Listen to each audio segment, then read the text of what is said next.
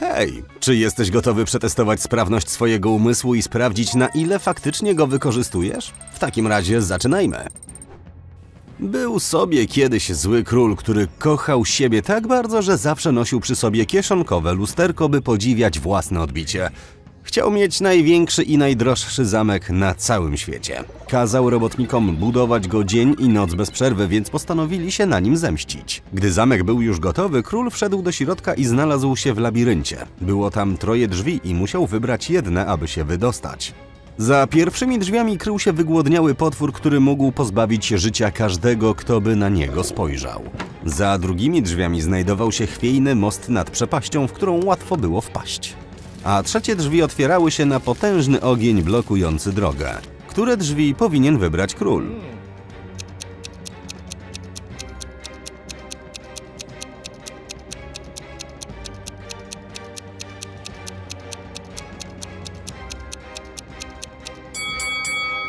Król powinien wybrać pierwsze drzwi. Może użyć lusterka, które ma przy sobie, aby odbić spojrzenie potwora. Voila, potwór zniknął, a król może bezpiecznie przejść.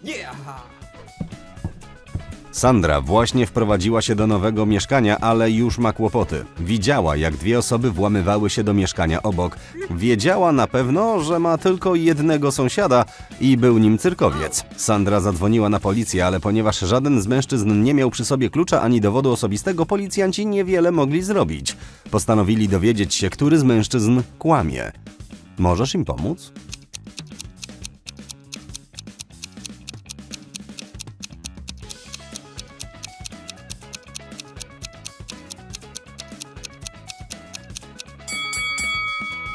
Chociaż w pokoju jest mnóstwo sprzętu sportowego, prawdziwą wskazówką jest kwiat na czapce klauna. Dokładnie takie same kwiaty rosną w mieszkaniu, więc to on jest prawdziwym właścicielem. Policja znalazła tajne laboratorium, w którym mieszkał szalony naukowiec. Pracował on nad eliksirem supermocy, który pomógłby mu przejąć władzę nad miastem. W jakiś sposób udało mu się uciec z laboratorium, a teraz policja musi go znaleźć, aby zapobiec katastrofie. Masz jakiś pomysł, jak to zrobić?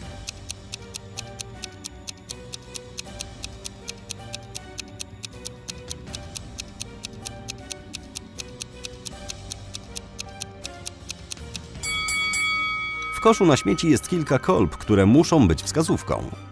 I musiał zgubić ten dziwny gadżet. Kontynuujmy poszukiwania. Oto kilka podejrzanych śladów. Szalony naukowiec musiał je zostawić. Widzisz go? Tam jest. Chowa się za samochodem. Neil zaprosił swoich najlepszych przyjaciół na przyjęcie urodzinowe i zamówił dla nich taksówkę, aby nie musieli prowadzić samochodu. Wszyscy dobrze się bawili, ale potem nadszedł czas na otwarcie prezentów. Jedno z pudełek okazało się puste. Ktoś musiał ukraść prezent. Sue powiedziała, zarabiam więcej niż wy wszyscy razem wzięci. Dlaczego miałabym ukraść ten prezent? Nick powiedział, dopiero co przyjechałem, a ty mnie obwiniasz, że coś ukradłem. Przepraszam za spóźnienie. Mimi wyjaśniła, nawet nie widziałam wcześniej tego niebieskiego pudełka ze złotą wstążką. Kto kłamie?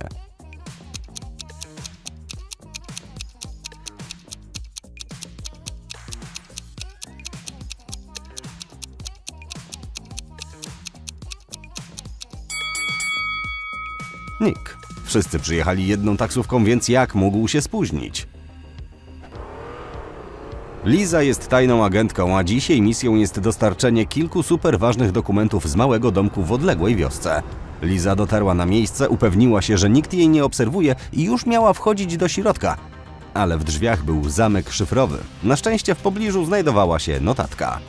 Czy możesz pomóc dziewczynie rozgryźć kod za pomocą notatki?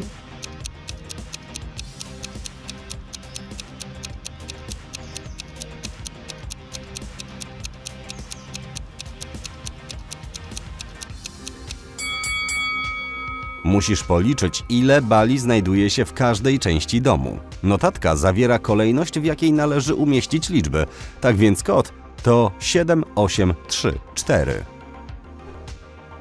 Nick właśnie wrócił do domu po weekendzie spędzonym z przyjaciółmi w klubie polo. Rany właśnie zobaczył włamywacza wybiegającego z jego domu. Nick próbował podążać za nieznajomym, ale ten był o wiele szybszy. Nick nie mógł go złapać, ale zauważył, że włamywacz biegnie w kierunku pobliskiego placu budowy. Pewnie chciał się podszyć pod robotnika na budowie. Który z nich jest oszustem?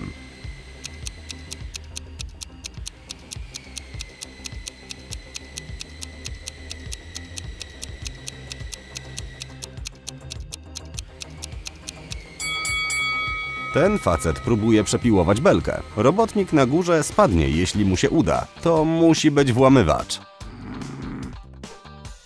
Ta rodzina tylko wydaje się normalna. Tata jest prawdziwym superbohaterem. Potrafi podróżować w czasie, umie latać, ma super słuch i zawsze wie, kiedy ktoś kłamie. To fajne, ale nie dla jego syna. Ma naprawdę złe oceny w szkole i dostał szlaban na wakacje. Chłopiec bardzo chce iść na przyjęcie urodzinowe swojego najlepszego przyjaciela. Jak może uciec? Może powiedzieć tacie, że musi być dzisiaj w szkole. Może się zamknąć w pokoju i uciec przez okno. Może się po cichu wymknąć, podczas gdy jego tata ogląda telewizję.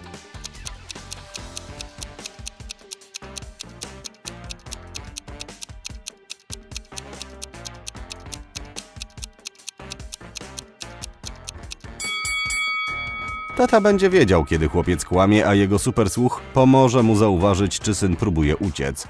Jedynym wyjściem jest więc ucieczka przez okno. Ktoś ukradł słynne dzieło sztuki z galerii. W momencie popełnienia przestępstwa w środku znajdowały się trzy osoby: dyrektor galerii, sprzątacz i odwiedzający. Dyrektor powiedział policji: Byłem w swoim biurze podpisując papiery. Sprzątacz powiedział: Sprzątałem na drugim piętrze i nie zauważyłem niczego podejrzanego. Odwiedzający powiedział: Byłem w sali sztuki nowoczesnej i oglądałem eksponaty. Policja od razu domyśliła się, kto kłamie. Ty też to wiesz?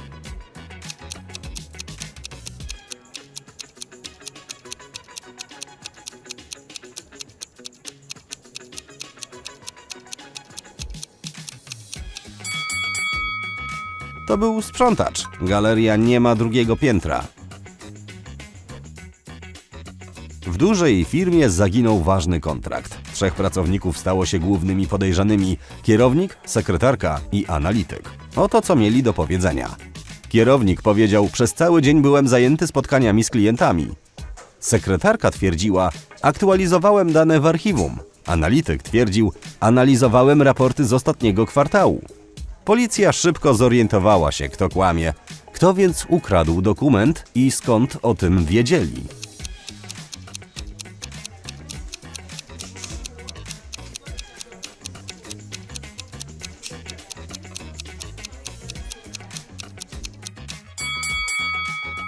To była sekretarka. Firma aktualizuje archiwum tylko w piątki, ale to wydarzyło się w środę. Przyłapana.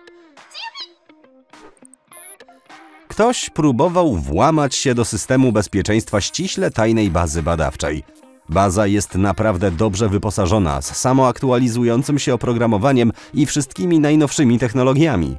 Podejrzenie padło na trzech członków zespołu: inżyniera, strażnika i programistę. Inżynier powiedział: Sprawdzałem zasilanie bazy i wszystko było w porządku. Strażnik powiedział policji: Patrolowałem okolice i nie widziałem nic podejrzanego. Programista wyjaśnił: Aktualizowałem oprogramowanie systemu.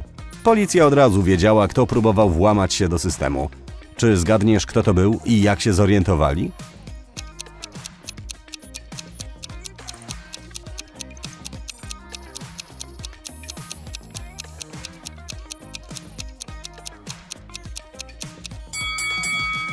To był programista. System aktualizuje się automatycznie i nie potrzebuje przy tym żadnej pomocy.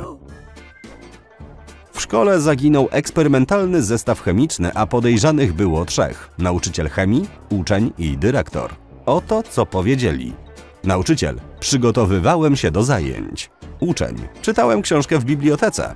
Dyrektor: Przeglądałem dokumenty dotyczące nowych dostaw. Policja od razu wiedziała, kto kłamie, kto ukradł zestaw i jak na to wpadli.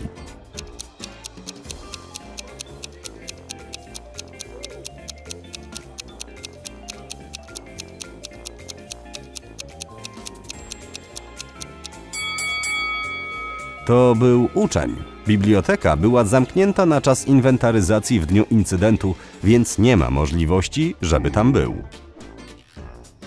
Masz trzy pudełka. Jedno z samymi jabłkami, jedno z samymi pomarańczami i jedno z mieszanką obu. Problem polega na tym, że wszystkie etykiety są błędne.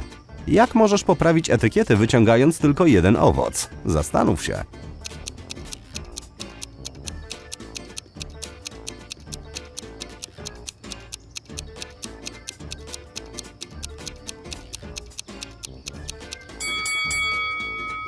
Oto sztuczka. Weź owoc z pudełka oznaczonego jako zmieszane. Ponieważ wszystkie etykiety są błędne, to pudełko zawiera albo tylko jabłka, albo tylko pomarańcze. Powiedzmy, że wyciągasz jabłko. Oznaczałoby to, że pudełko zawiera tylko jabłka. Teraz pozostały dwa pudełka. W skrzynce z etykietą pomarańcze nie mogą być same pomarańcze, ponieważ jest błędnie oznaczona. Nie może też zawierać samych jabłek, ponieważ już znalazłeś pudełko z jabłkami, więc musi to być pudełko zmieszane.